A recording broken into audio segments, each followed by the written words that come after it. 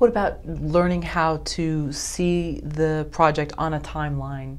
Learning how to cut, do dissolves, Yeah. different things like that. Yeah, I've always said that. I think those are the two sort of bookends of being a great director is and I mean a great director in the sense of being a director who is doing what the job says, which is direct. in order to direct a movie to make sure it comes out the way you want it to, you have to understand cinematography, and on the other end, you have to understand editing. If you can understand those two things and do as much of that as you possibly can in the beginning, edit yourself, um, then you will be able to direct an editor. You'll be able to say, no, that cut should come 10 frames later, and you'll be able to you'll be able to guide an editor to, to in that all important step of make putting those images together in the way that you see them in your mind. Again, too many people, I think too many young filmmakers, even too many students go, well, I'm going to get an editing student to cut my film, my student film. And you're like, yeah, but not yet. Like, you cut it first. Cut it first. It may not be as great, it may not be as finessed as that editing student who is only thinking about that. But unless you get, again, familiar with putting two shots together and seeing what works and what doesn't work, you're never going to feel confident giving notes to an editor because you'll just you'll be like how a lot of producers who are not savvy in that way are just going well just make it good you know? Let i'm to when i wake up in the morning there'll be an edit and it'll be a movie. But i don't know how it happened but i just know you know it's like it's like when you pick an auto like it's, it's you don't want it to be like how i look at like an auto mechanic which is just like i want an auto mechanic who'll just make the car work and i don't want to know what the hell you did just make it work. So many producers think that way if you're a director and think that way i think if you have this mindset that somebody else should do this work and you're not you're not clear on how it was accomplished and i mean that by way of editing then you're being willfully ignorant. And you're putting yourself at a disadvantage as a director because that doesn't to me a director has a real understanding a working a working knowledge of all the departments he just doesn't he doesn't sit there and, and, and hope that these the cinematographer tells him what the shot should be. He shouldn't wait for the costume designer to tell him what the what the actor should wear or the production designer shouldn't say what, what color the walls are.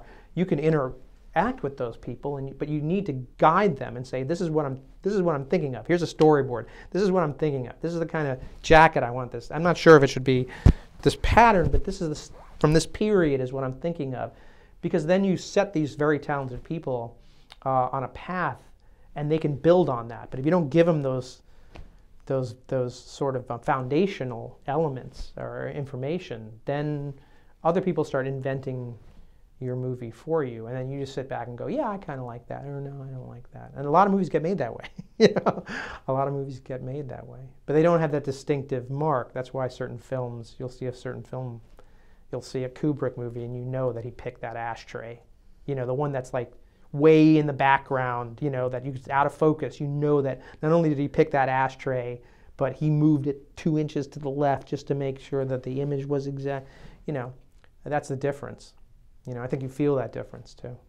Do you remember editing your first project? Yeah. How was that? Was, was, this you were splicing or no? Yeah, splicing. Yeah, the, when I was editing. Well, I mean, I was when I was in film school. It was a lot easier to cut silent 16 millimeter footage because then you were just really just dealing with you know just the picture element. And yes, you had to cut that you know cut that with a Rivas splicer, and you had to use tape splicing, and you put it up on a flatbed.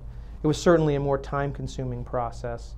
And when you when we moved into sound, it was more complicated because, but still the same thing because you're dealing with a separate sound element on mag, and you have to make sure that's kept in sync. And it's harder if you want overlapping dialogue or anything. You can't just split it up on audio channel one and two. Now you've got to like, you've got to thread up a whole new um, piece of mag, and it's a whole other thing. But it was more time consuming. But what it did teach you was to be um, thoughtful in your editing because it was such a pain in the ass to undo it.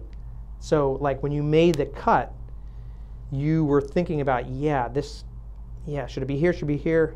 Here. Like you made really made a thoughtful edit because if you threaded it up and you looked at it and it was wrong, then it was a whole laborious process of untaping your picture, untaping your sound, finding those five frames that are now hanging on a trim bin, cut those in, you know, like it was just like a long. So what it did, I think, it taught a lot of editors to be more of a thinking because the the the uh, result of a bad or a thoughtless edit was just took more time. Uh, of course, now the consequences of making a bad edit are easily you just undo. You know, you just hit undo and you're it's easy. Um, but yeah, I mean, it was like anything. I mean, editing was like a, a bungly, you know, technical. Like, how do we do this? How do we keep it in sync? How, all the things that happen now. But again, with familiarity comes an ease, and then you don't have to worry so much about the technical part of it. All you're worried about, all you're thinking about, is how how to make the best creative choice. And I think that's true of anything. I mean, it must be true of learning a musical instrument. You know, when you're learning a musical instrument, you're just, you know, or you're just trying to read music, you're just trying to, you know, hit the right key that means, and then later it's like language, you're fluent in it, you don't think about it as much anymore. So I think it's important to do it yourself to get over that fear and become fluent in the language, and then, then you can direct, you know.